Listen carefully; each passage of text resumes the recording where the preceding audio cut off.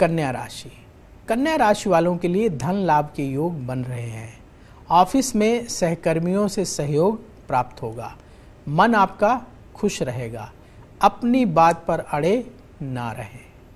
शुभ रंग, क्रीम। उपाय, ओम नमः शिवाय का 108 बार जाप करें तो आपके लिए बहुत शुभ होगा।